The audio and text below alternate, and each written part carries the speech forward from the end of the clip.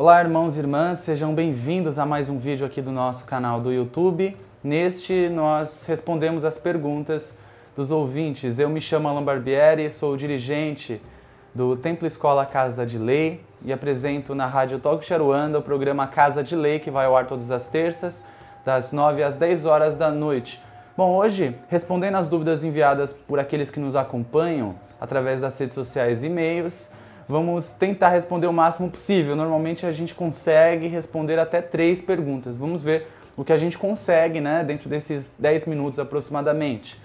Para você participar aqui enviando as suas dúvidas também, você pode enviar pelas redes sociais, que estão disponíveis os links aí na descrição do vídeo, através do nosso site casadelei.org.br e também através do e-mail perguntas@casadelei.org.br. Bom, vamos lá. Uma dúvida que a gente vai responder inicialmente aqui é da Brígida. Ela diz o seguinte: Boa noite, Alan. Boa noite, Vânia. Vânia é minha esposa, para aqueles que não conhecem. Faz um tempo que, pela indicação de um amigo, venho acompanhando seu trabalho e tenho me identificado muito. Bem, Alan, no último domingo fui a um terreiro de Umbanda com um amigo. É, esse meu amigo já havia ido a este terreiro e dito que tinha ficado com o pé para trás, mas mesmo assim, insisti para que ele fosse comigo. Nós fomos. Quando a gira começou, veio primeiro um preto velho e depois um herê.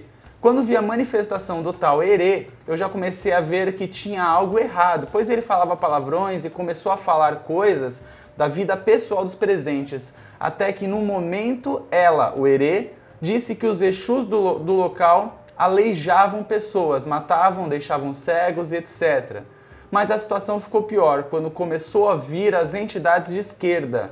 Os tais Exus vieram perto de mim e do meu amigo e nos pressionaram para desenvolvermos a nossa mediunidade lá. Começaram a expor nossas vidas pessoais, inclusive coisas sexuais. Depois, a dirigente incorporou, incorporou Zé Pelintra e ele ficou olhando para o meu decote, fazendo insinuações. E um cigano ainda disse que estava dentro da minha casa e do meu amigo e via tudo que fazíamos em quatro paredes. Enfim, Alan, a experiência foi muito ruim. É, meu irmão, eu imagino quanto tenha sido ruim. É, se fôssemos outras pessoas, talvez nunca mais pisaríamos em um terreiro de umbanda, tanto pelo medo de fi que ficamos, como pelo constrangimento que passamos de ter nossas vidas particulares expostas. Enfim, Alan, o que você acha de tal situação? Esses guias realmente estariam dentro das no de nossas casas? Como podemos nos defender? Desde agradeço sua paciência em ler minha mensagem até o final e aguardo sua resposta. Um abraço fraterno com a Xé de nosso Pai Oxalá. Minha irmã Brígida, muito obrigado pela sua participação, muito complexa a sua pergunta. É, daria muitos vídeos para responder ela, porque a gente poderia desdobrar vários assuntos é, nesse seu, nessa sua vivência negativa, né?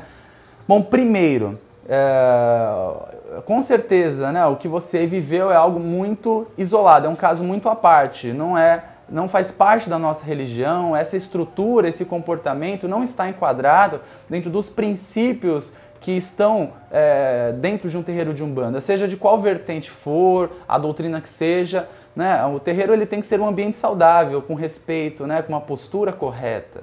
Há com certeza um grande engano ali do, no conhecimento desses médiums, aqueles que estão manifestando esses guias. Esse erê que você se refere possivelmente seja um Exumirim, é, que tem em algumas casas esse comportamento de criança mais levada, né, que fala palavrão, que xinga, que bagunça. É uma interpretação errônea dessa linha de trabalho também, e naturalmente, os médios acabam deixando isso é, extravasar no momento que incorporam essas entidades desconhecendo o seu real fundamento. Não, não era herê, então já entendemos aí que possivelmente era um Exumirim. Agora também não dá o direito de ficar falando palavrão, xingando, bagunçando, né? Fazendo, tendo um comportamento desrespeitoso ali diante da assistência que vai ali para buscar auxílio.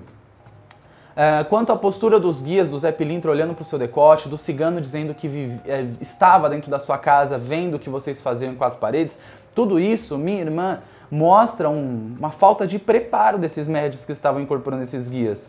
Eu quero que você entenda muito bem. Você me pergunta aqui no final da, da, da, do texto: é como nos proteger desses guias? É, entenda muito bem, você tem que se proteger desses médiums. Os guias não precisam, você não precisa se afastar dos guias ou se proteger dos guias. O problema está no médium. O médium que está com defeito ali, ele que não tem educação, o médium que não está preparado para manifestar este guia. E naturalmente que quando ele se manif quando o guia incorpora é, todas essas convicções que o médium tem, é, esses absurdos que aconteceram, foi por conta aí da, do que o médium acredita, da consciência dele, né, da, do seu próprio entendimento. Não se trata da manifestação diretamente do guia ali, minha irmã. Então, é, busque outro terreiro para frequentar, busque auxílio em outra casa, não volte lá. Se o seu amigo já tinha ido e tinha tido uma experiência negativa, não precisam voltar nesse local. Né? É, a gente sempre diz, não existe uma casa muito certa ou muito errada. É, qual que é aquela mais pura e qual que é a menos pura. A grande verdade é que qualquer coisa que foge do bom senso, como este caso que você descreveu, é um lugar que não é adequado. Mostra-se um, um, uma falta de fundamento, uma falta de entendimento real ali das entidades dentro do terreiro de Umbanda. Então, enfim, minha irmã, isso denigra a nossa religião. Fico feliz de você ter perguntado para nós, não ter desacreditado na, na, religião, porque se uma pessoa que não conhece a Umbanda vai numa casa dessa, o que, que ela faz? Ela nunca mais pisa em um terreiro de Umbanda é natural que isso aconteça, porque ela vai acreditar que aquilo é Umbanda e na verdade aquilo não é Umbanda, né? Muito obrigado pela sua participação e seja sempre bem-vindo aqui ao nosso programa, né, aqui no YouTube e na Rádio Talk Charuanda também. Mande sempre as suas perguntas.